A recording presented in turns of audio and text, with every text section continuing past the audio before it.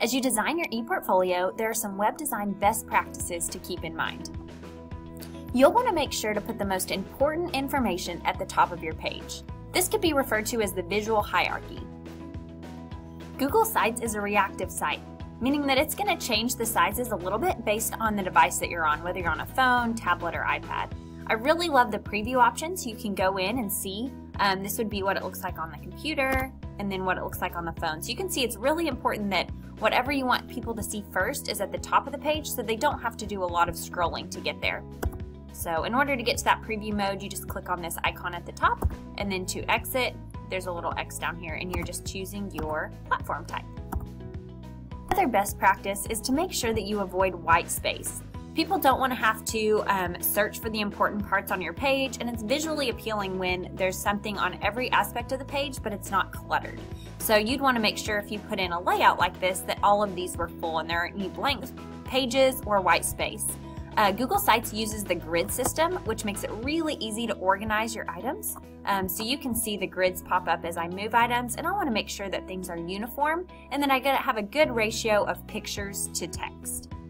One reason I really like the layout option is that they already have a good picture to text ratio here chosen. So um, these are really a great way to have some good web design, but that doesn't mean that you can't create that on your own as well. If I insert a picture, maybe I'm gonna add some text beside. It's also important to remember that Google Sites is separated into sections. So if you have a section that's blank, you can go ahead and delete that section. One of the most important best practices is to make sure that your themes and your fonts and your colors are all uniform. By providing you with certain themes, Google Sites is already helping you with this practice. Um, so you just want to make sure that none of your colors clash and then they've provided certain font families and colors that will be across all of your pages. You'll want to note that as you add buttons and different photos that those also are uniform with the theme of your page. And it's preferred to choose maybe a minimal font that doesn't have a whole lot of um, decoration to it. That way it's very easy to read. One of the last things to consider is that the home page is the landing page of your site. So this is the first page that people will see.